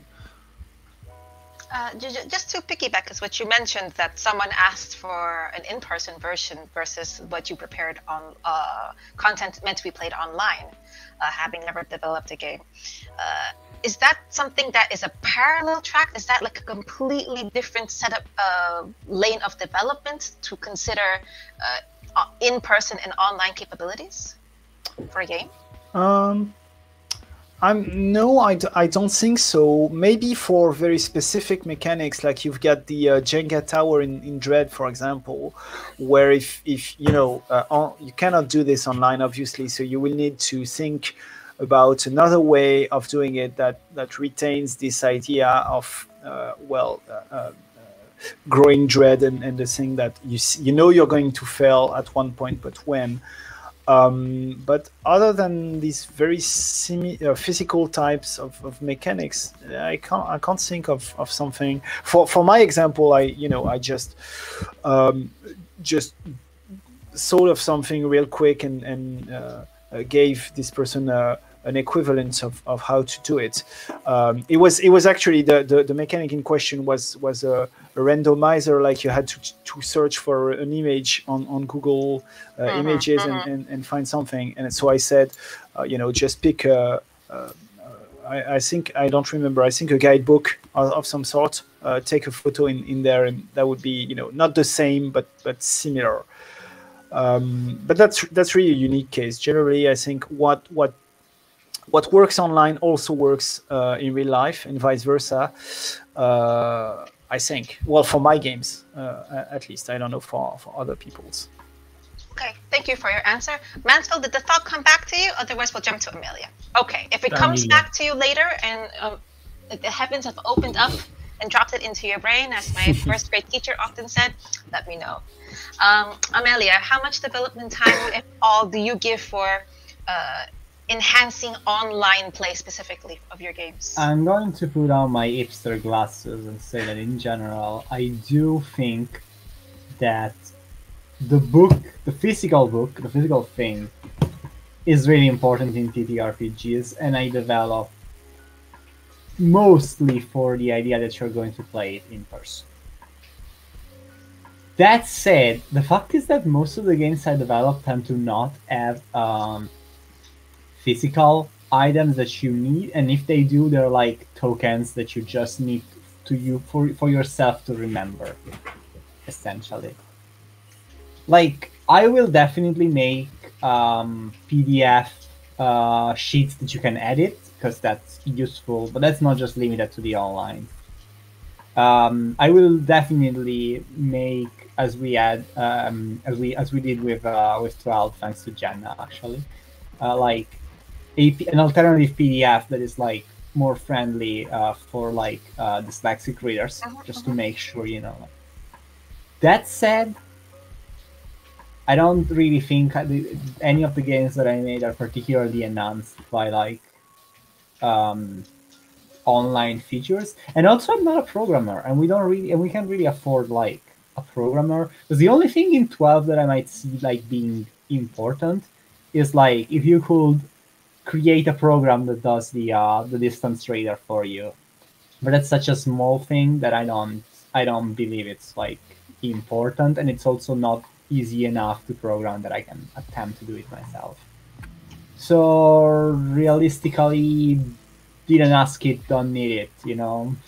That's what theater of the mind is for the, as well. The basics, the basics are there, and like the when it comes, you know, when it comes to accessibility, that's a thing. Yes, obviously, all the kinds that we can do. If it, if it, you know, like different versions of the game in PDF form to be more accessible, yes, absolutely an actual like online only feature, I don't think it's. I don't. I don't care. Other people make giant sites just to accommodate for that, and they actually know how to program. So, like, I like to play the, the big shot. Right now for you, Amelia. I like to play the big shot developer. Yeah, no, uh, on it, on it, on it. I have an idea. sure, I remember it about that.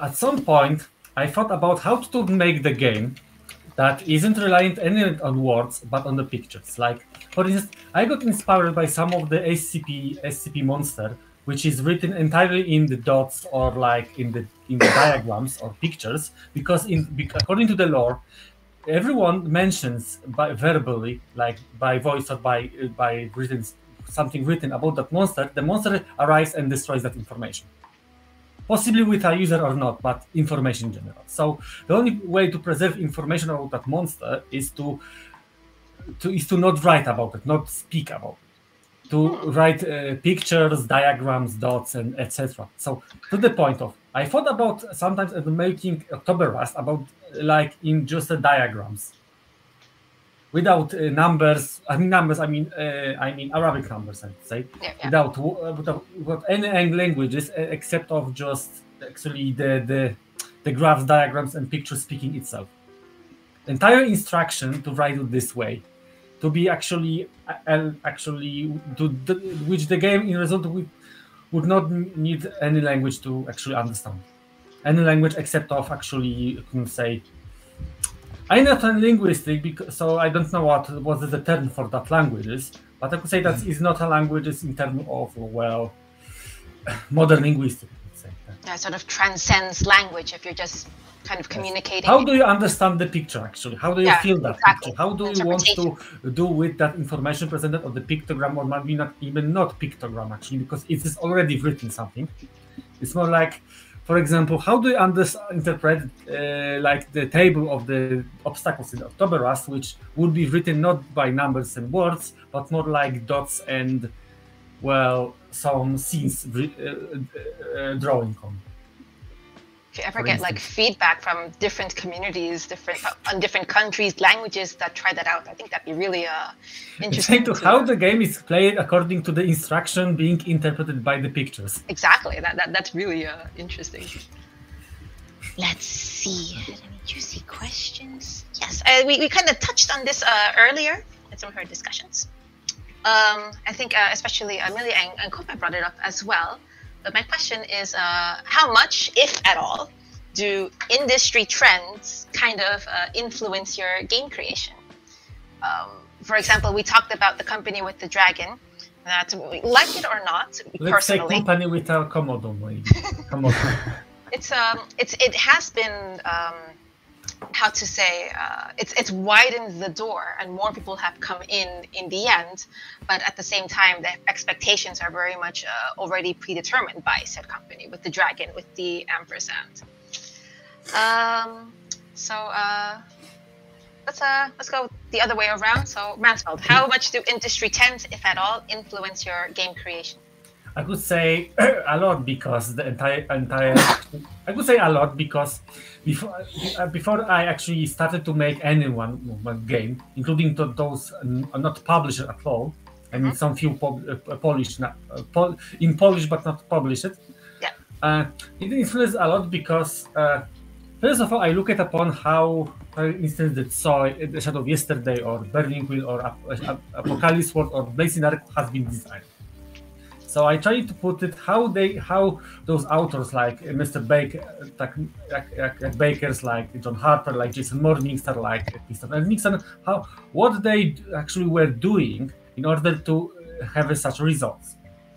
And to conclude that that answer, I could say that uh, actually I would consider myself more like a s- ide- idea uh, uh, idea stealer, more like like an, actually anything else actually.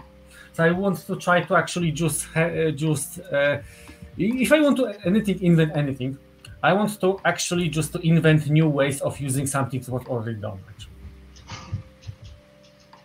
thank you very Yes. much uh, amelia The industry can go hack itself, un- unless I am specifically making a point. Like like it's uh, some time ago, we attempted. We didn't finish it, but we attempted Project Zero, which was a game. I hope that we can still pick up later. Uh, which is a game about uh, people with superpowers, but not superheroes. Mhm. And definitely, the idea came because of how popular you know the Marvel Cinematic Universe is getting. But the entire idea of that of that game was like showing showing up what we think is like the big hypocrisy of superheroes and why and uh, what we think would be like a, a more proper use of your of your abilities should should you be able to to shoot fire from your hands. So when it comes to being counterculture, I guess I guess you could say that sometimes we look we look at it, but in general we attempt to make things that are like without really thinking about like is this is this pop culture relevant? You know, is this relevant in the in the industry? Because that's like uh, just putting yourself in the in the in the mechanism, and you're just going to end up making extremely soulless content just for the hell of it. In like, I have been sometimes approached with like, hey, you should if you want to grow your numbers, you should do this and this, and it's like, yeah, all that's very cool and all, but I I would rather uh, I would rather keep doing the things that I think is good and you know not sell my soul and alienate myself from my passion just just just just cause. What I'm Can't saying is I'm ready. see your mobile uh, battlegrounds game then. What I'm going to say is I'm fully ready to die at 35, starving if I have to. Hydration check. Thank you, Schneisela. for the hydration And check. how dare you check me? How dare you vibe check me on the water? Um, then we have uh, Corme. How much, if at all, do industry trends influence your game creation? I think it's interesting for you because you mentioned earlier that uh, the instruction direction came from above with deadlines. So uh, how, how, how do you answer that? Yeah, I mean, big big trends, uh, not at all. I mean, I I don't read them, I don't play them. I'm I'm not interested in them. I'm.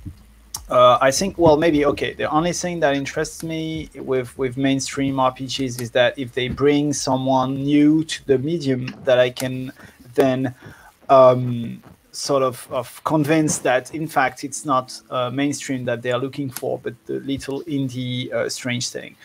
Um, so but then it, it, it gets it gets difficult with uh, the games that we've been mentioning so far like like uh, uh, apocalypse world for example is it uh, because it's at the, the corner between mainstream and indie it's maybe like the, the most mainstream of, of indie rpgs and in, in this sense it's, it's hard it's harder to ignore because uh, it's brought not only new mechanics and but also new ways of of playing of thinking about uh, the roles of of uh, a GM of players, etc. So uh, I think that subconsciously maybe these sort of big mainstream games I, I have in in you know the background of my mind as I create games. But um, yeah, other than that, I mean, uh, and, and to to tie back to what I was uh, saying before, uh, if I can't steal it, I'm not really interested in it. Um, yeah, I, I don't know. That that's really not something, not not something I I think about when I when I create or when I play. Um, that's not to say that I I, I hate the mainstream or I, I wish they can all go to to to hell. Uh, some some mainstream games are, are cool, and I you know I started with that, so uh, yes, but um, yeah, I mean, I, I started with it. I still like it more or less. oh my god! Um, but uh, yeah, that's that's not really something I that's uh, in the center of my mind nowadays. Okay. If we Thank you for made that. mainstream games, we wouldn't be indie game creators, would we? I, I wouldn't be sitting here with you having Yeah. this wonderful, Discussing it with you. I mean, it's it's one thing to for me to walk through the door. Ah, another one. Oh, it's uh, There you go.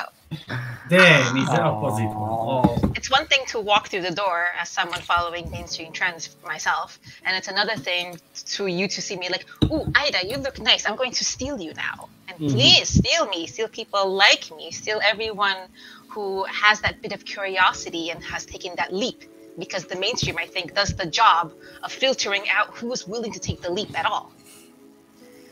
Um, we have a really interesting question from yet another bard, and we, we briefly touched on this, but it doesn't go. Uh, yeah, thank you, ladies of the indie.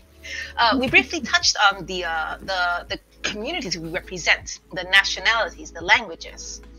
Uh, for sure, you publish your games in French. But correct me if I'm wrong, Amelia, does 12 have Italian translations officially published? It doesn't. And Does do you wanna know why? Yes, we want to. Because uh, the, the Italian person in the team, being me, has a lot of work to do on, on all our games and can't really take time to do an Italian translation. And we don't really have like the the ability to get someone to make an Italian version of it. Because I'm going to I'm going to I'm going to let you finish your question, but the answer is a little bleak. It's, it's, it's, it's, it's building up. Now, Uh, I, I know the answer because I've seen the question, and it's Yeah, not yeah. a great answer. I, I wanted to ask uh, Mansfeld as well. Do your your games are they published in Polish? You have English No. language games. No, they are not. actually, not. no. I can No. say about something. Come again? Okay, uh, okay. So, can I speak some something about dualism in Polish?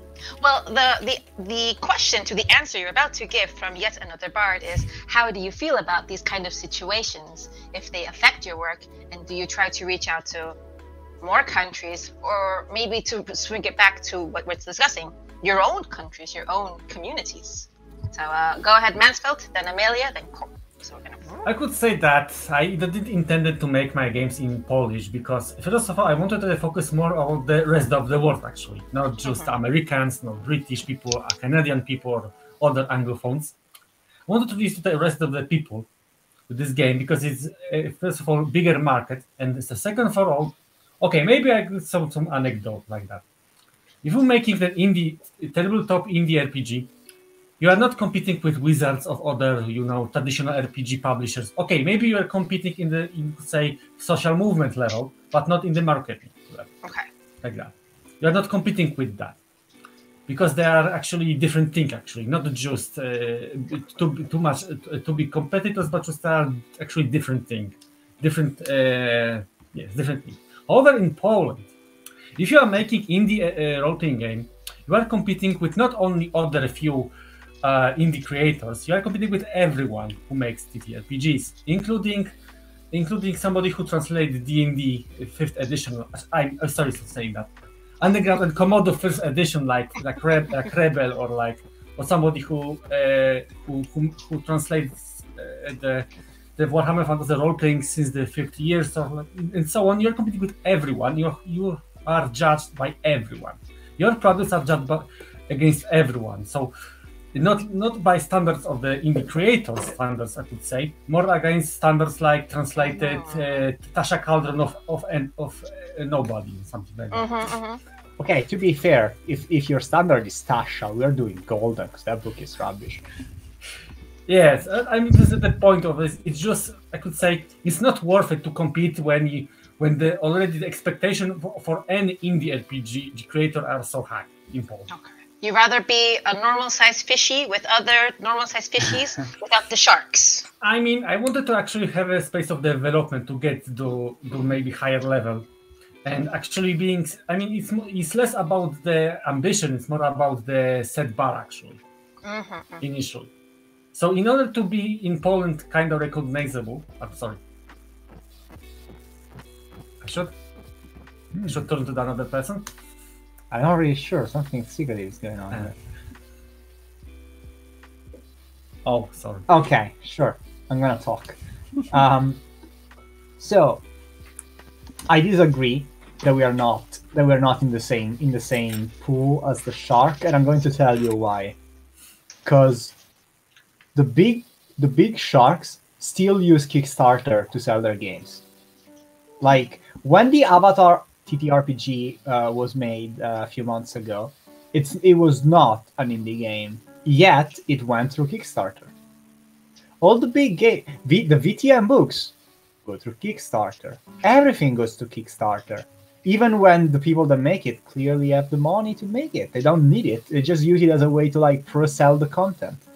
So yes, we are in the same in the same uh, vat as all the sharks. We are competing with the big ones, regardless of where you go. Now, I really hate to talk about competing and market and stuff. This is something that I this that I if I could, if I could make my games for free and just give them to whoever wants them, and not think about the market and having to sell them, that would be the the happiest camper. That said, we do have to actually because because apparently we have decided that, that as a society that can in fact sustain everyone, we have decided that somehow you still don't have any rights to leave if you don't make money, which is beyond me. But since this thing is, is real, it's really hard to get a game going as an indie game developer. If I have to also start making translations when it's really hard to sell the English version, which is the which is going to be like uh, obviously the best-selling version because most people speak English. It's just a matter of fact. Look, I would love nothing more than to have like an Italian version, a French version, a Spanish version, a Mexican Spanish version. Damn it. Who's I don't want to ask people to make them for free because that is rubbish. And then I am there in a situation where like, well, we made ten thousand dollars with the with the with the um, with the Kickstarter of this book. I need to split some of them among the people that work at Witch and Craft Games because they need food. Uh, I need a lot of them to go to actually printing the books. uh, some of them will be taken, in fact, by the printers, and some of them we need to like make to like send copies to reviewers who aren't even like buying them. We send them the copies. Like the fact is that if I could get them translated, I would. And like if you you know what we what would be super cool and I've seen someone do this is like people actually attempting to put together like community of like community directed to translating indie games into like uh, less mainstream languages in that English. And I think that's one of the coolest thing ever. And if people want to do it and people want to put together like a community is that it, that does that, not for free. I'm not even saying for free. Sign up in the chat. But like a community that allows um, that allows indie content creators to have like a place to go and be like, look, I need this game done in this language, and have people be like, yes, I can do that. Honestly, you're solving so many problems if you can do that. Let's take the perspective from someone who does have um, a game uh, in more than just English in the language or the community that they're native to. So, comment. Well, so um, I'm yeah, I'm lucky to to have my games be uh, well successful is probably not the word, but but they work, they they sell. On, they're received. Right, they're received. Yes, thank you.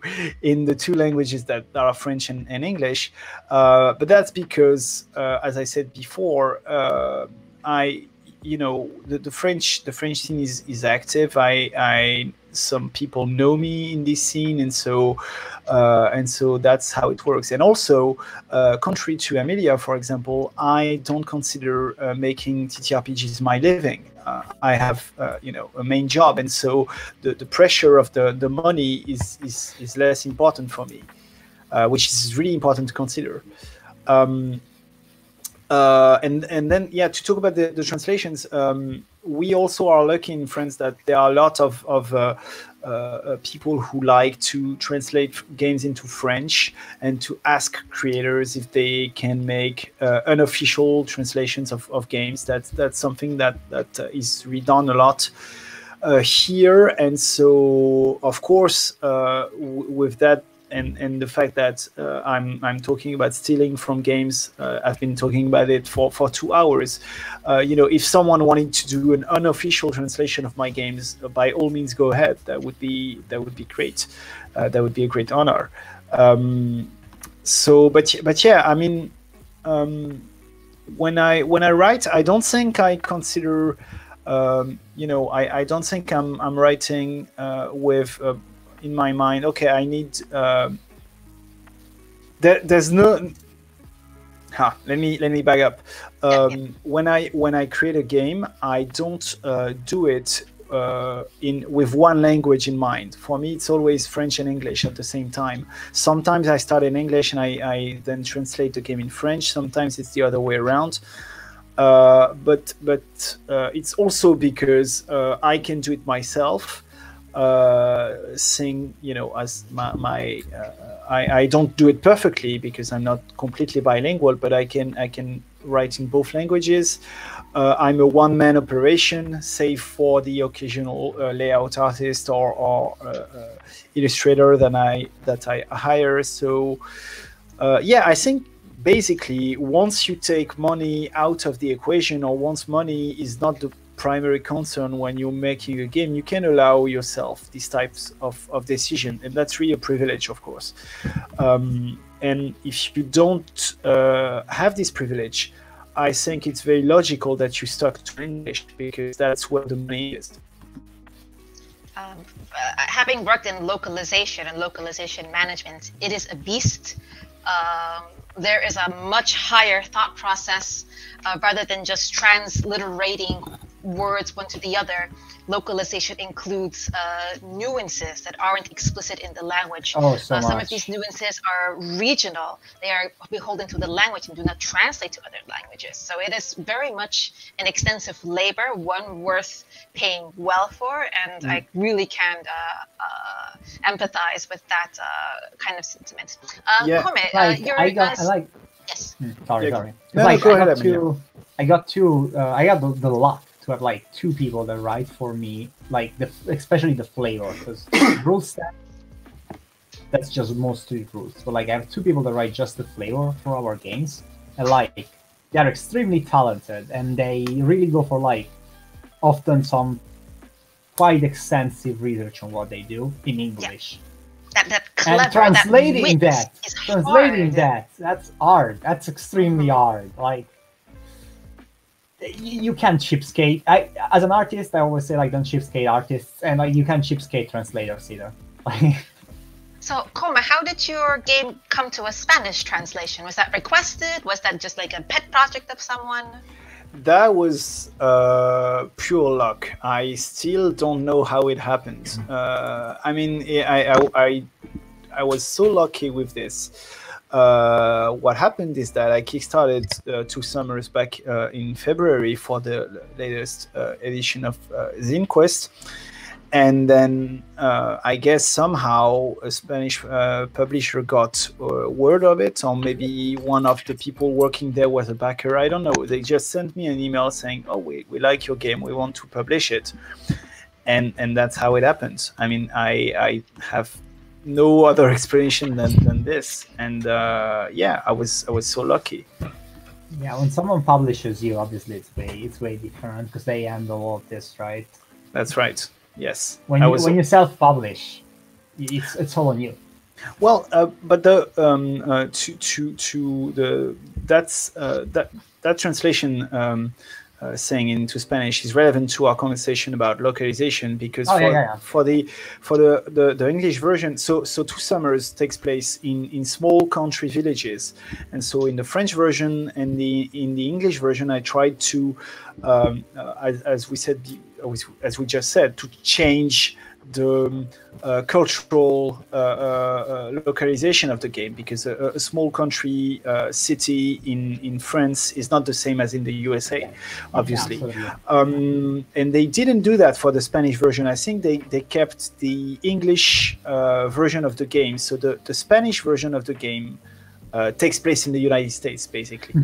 um, and I thought that was, you know, that that's interesting. That's probably not how I would have done it, but uh, but I understand also why they did it because, uh, uh, as we said, it's such a it would have been such a pain to just think about all the nuances and the and the things you you need to change, and it's not just the names of the towns; it's also um, and that's also why I, I would be very curious to to see how Two Summers, uh, you know, is played in Japan or in, in the Philippines, for example, to take two countries where I know that people have bought it. Um, I, I'm really curious about how your culture would infuse in, in playing a game like this. I actually have a really thing that kind of went in my mind, but like I think it would be interesting if people, the, like, in, if indie creators started setting up, started setting up in their Kickstarters like uh, goals, goals going towards translations. Mm-mm. I think that I- would help. That would I help wonder a lot. about You know what? I, I'm gonna do it for for Okotai, and the first and the first goal I'm setting is for a Basque translation. Fuck everyone. Nice. Mansfeld, you were saying? Love love the Basque country, love my Basque. Ah, I wonder about how do you look like uh, October Rust would would look like in uh, in the Polish because f- first of all I didn't make any sentence or word in in Polish while making this game. Entire entire con- uh, entire, entire making uh, process making through the conspect and the draft to the final way w- w- it was involved was written entirely in English, and I specifically I wanted to focus to unpolish the game. I mean, how is it right to? Yeah, I yeah. mean, there is a phenomenon in Poland called Ponglish. It means like Yeah. speaking speaking English by using English words but using Polish grammar. That's awesome.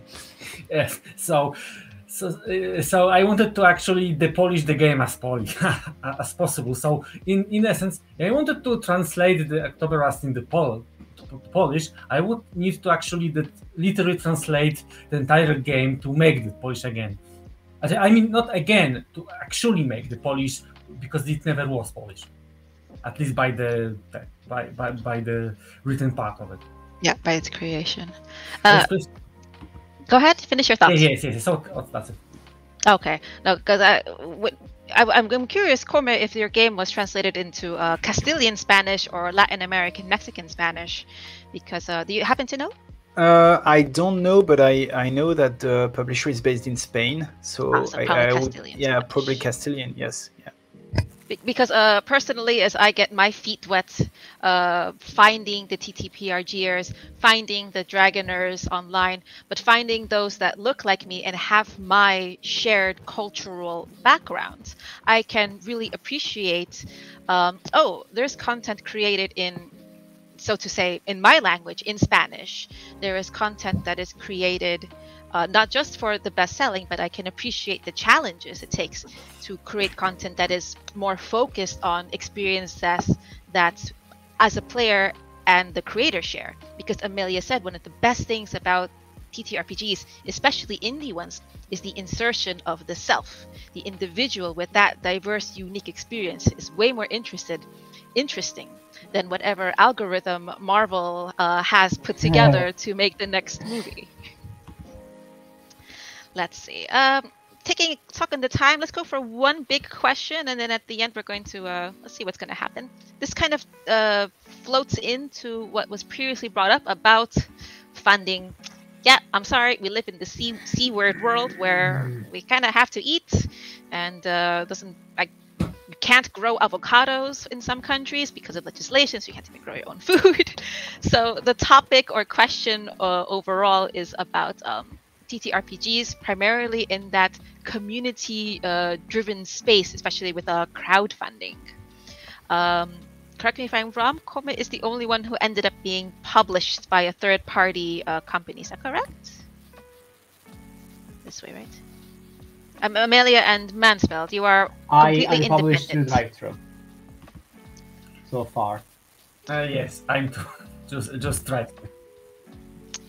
So, um, let's start with uh, Mansfeld and Amelia. Have any of you considered reaching out for um, C word capitalist traditional funding mechanisms or going to studios and pitching for them? What are the pros and cons of so far having done so or not doing so? I looked it up.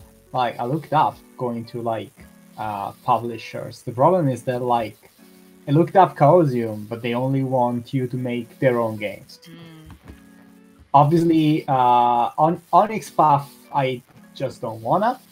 And uh, you know that's the point. There aren't many, and those that there are tend to be very specific about what they want. Like it's really hard to pitch to pitch to Evil Hat something that is not 2d6 because their audience is the PBTA audience. Obviously, they want more PBTA games. That's just how it's gonna. That's just how it's gonna be. to the industry It's- trends, right? The, the more the problem is like the more your game is out there, the harder it is to um, it is to get it published. Like the stroke of the stroke of luck is not exactly something you can uh, rely on. Unluckily, the fact is that the big publishers tend to tend to only care about what what makes them money, and like by by your own definitions, indie games don't always do that. Exactly. I I mean, that, that's part Um, of the crux. It's it's hard. You kind of need to make a name for yourself, like that. uh, That helps. And then usually, what you do is you end up just working on a publication on, on, on, on of another game as a game developer. Mhm. If you want to make your own game and you and you want it to be like an original thing, that's the that is like extremely uphill. That's not to say that like you can't make a decent a decent backing on Kickstarter like independently it takes up an absurd amount of work of networking getting to know people. It's i can't stress how hard that is. I i can't stress enough how difficult that is though. Like and especially with like again companies using kickstarter to like Yeah. show off their stuff instead of letting it be what it's supposed to be as that is you know independent platform Thank you. Uh, Look, if we Mansfeld, make- thoughts? Sorry, Oh, go I ahead. Finish your like, thoughts. If we if we keep making stuff like indie game conventions, but then we give we, then during it we give prizes to like extremely large games that everyone knows and that are published by a big house, then we're kind of defeating the point of indie games. Okay. So Truth to I could yourself. say Not that talking about anyone. I could That's say that Amelia actually pointed out all the reasons why I did I don't want to actually make a, a Kickstarter because it's anxious uh, uh, at, at the shortest actually. It's anxious and I'm already uh, I could say that I'm already uh, autistic person. So I already have a kind of short circles of the contacts. So it's already this hampers me with with actually making any kind of the making something making something that relies on many people actually in first place and second for all, I would like to have a have a publisher who talk who who who actually points at me and saying, "Hey, I want to physically release your game or like that, publish your game physically." But Yeah. you know that was a, actually be a miracle, and I don't believe in miracles. So, I what I wanted to do instead, so to make to continue actually the trend of what I can do by myself, or at least I can handle by releasing P- P- PDFs and PDFs and those in those medias that I, I can actually make either on my own or at least I can organize on my own. I tend to actually I just don't have a particular interest of making the physical games because I want I know that I, it will fail. In either either by by the process of actually organizing things or maybe would fail because well I already heard many stories from Poland about the printers, how they supposedly five times in a row they print uh, a book badly or other funny but actually not funny stories about it. For, for, for the record, at the beginning of the stream, we played a game you made. I had fun. I Oh. don't know by what measure you consider yourself failure success, but I'm going to just arbitrarily overrule whatever you have say in your head and tell you that's a success. So Success is not money. I mean, I, I On assume that this side. was seal of approval, right? it made it made me Yeah. happy. I think it made the rest of us happy. Yeah, Yeah. seals of approval. Uh, yeah. Su- Come. success is no money, and that's that's where just that's where the, the point is, I guess. about funding indie get it get it keeping that indie vibe or going to where there are greener Success pastures is people play your game and it's and it actually touches them inside. That is success. Everything Yes. else is just money. Yes. I yes. like- Big. I don't know. I like I like living, but I'm not that attached to it. I guess. yeah big big seal of approval on that i i actually i before i started uh, writing rpgs i i wrote some some novels and um and you know they were not very successful uh, uh, financially wise but also i never received any comment or reaction on them and which was kind of depressing. And with rpgs what i think is so great is that uh, as you said uh, uh, money is great uh, obviously because we, we live in a money based society. But the feeling you get when someone uh, leaves a positive comment on your game or just uh, uh, mentions you on, on Twitter or whatever, saying, "Hey, I, I liked your game," that that's just so that that's priceless. Uh, that being said, um, to to come back on on the subject of money, uh, yeah, for my games, for for most games I make now, I go through uh, systems of funding. I've done two Kickstarters and I've done one uh, each funding as well. Um, and that's just because uh, I mean, no no publisher, uh, uh, no big publisher would be interested in, in one of my games. I, I doubt that the Spanish publisher we mentioned before would have been interested in my game if it hadn't already been uh, successful in its funding.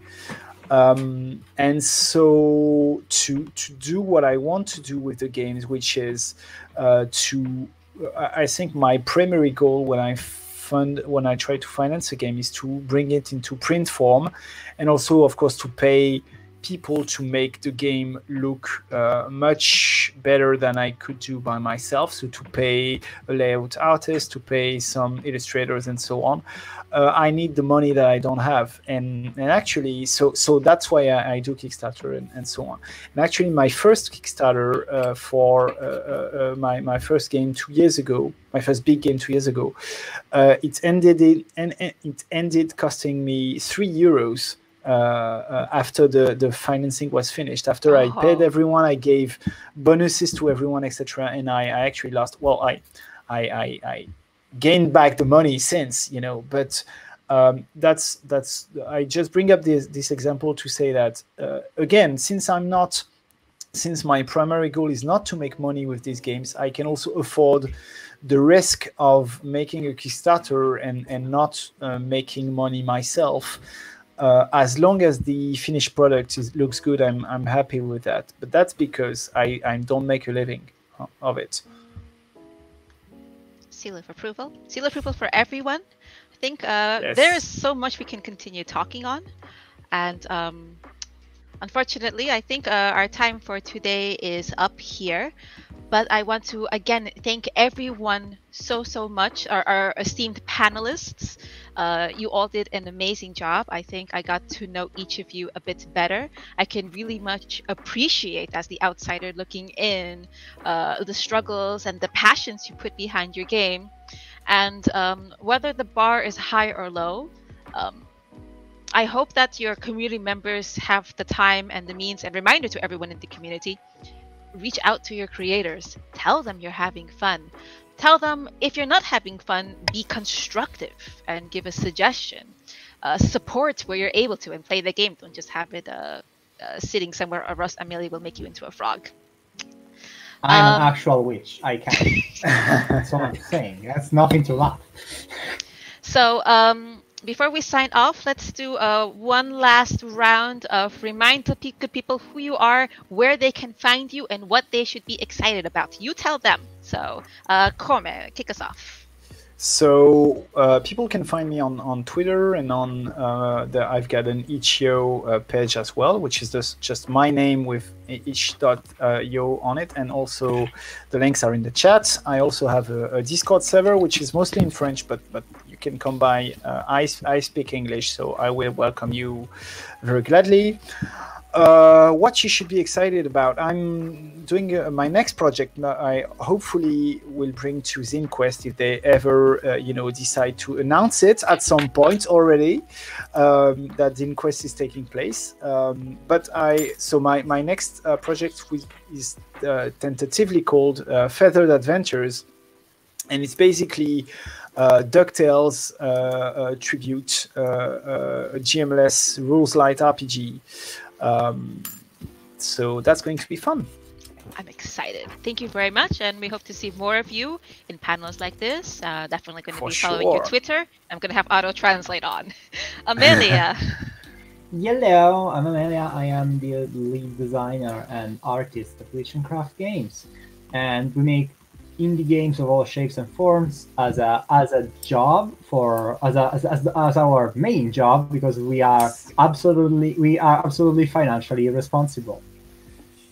Uh, we are the uh, authors of 12 Inner Demons and now 12 Occult Eye is being played on this channel every Saturday, and that game is going to be out very soon with our Kickstarter going very soon. It's a an extremely good game about your own traumas coming out as demons to help you. What did you sorry, what did you say?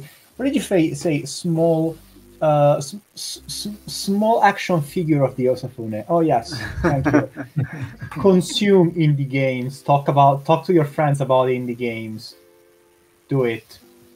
okay, okay. Uh, Mansfeld, you're my friend now. Tell us, remind the Uh, good people so, who you are Okay, I and am what we're excited Manfred. My legal name is Michał Przygocki, and that is on the title of my games. And I am, and you can find me on the itch.io by name Common Fortress itch.io. itch.io. Also, you can find me on the Twitter under the nickname Manfred underscore is underscore as a symbol is, and find me. And also, if you really dare or you are, you are really, uh, I could say it's about. Uh, Okay, I don't. I forgot what is that adjective. If you really want to wait a long time, you can also find find me at my Polish, but sometimes in English too, uh, blog called Twierdza Powszechna, and the address is commonfortress.com. Okay. Type those things in the chat, and I'm sure our facilitators will uh, make that available for you. Oh, okay. So I need to launch it actually. Perfect. Um, my name is Ida. I am a layperson, but I am someone who feels incredibly welcomed and empowered uh, in this wonderful community. If I could get here, all of you can be in this happy place with these amazing and welcoming people. Speaking of amazing and welcoming people, we have to thanks once again thank the ladies of D&D community for hosting Yes. us, for giving us space on their wonderful, large, moderated, curated uh, community, and especially for setting up Indiecember, which will be full of more panels and featuring one shots in mini uh, campaigns, featuring some people who may be on this panel and some people who- as uh, players and uh, GMs. So the entire schedule can be found, announcements thereof, on Ladies of D&D Twitter. Check the links for their Discord where things are also posted. And thank you also to the amazing uh, audience. Thank you to our tech mistress, uh, Jenna, behind the scenes. And uh, thank you again, everyone. It's been a pleasure getting to know you all. I wish you all nothing but success in your current projects, in your future projects, and may you feel all the love and receive this seal of approval as we sign out. Thanks, Ida. Thanks. See you. Seal of approval. Bye, everyone.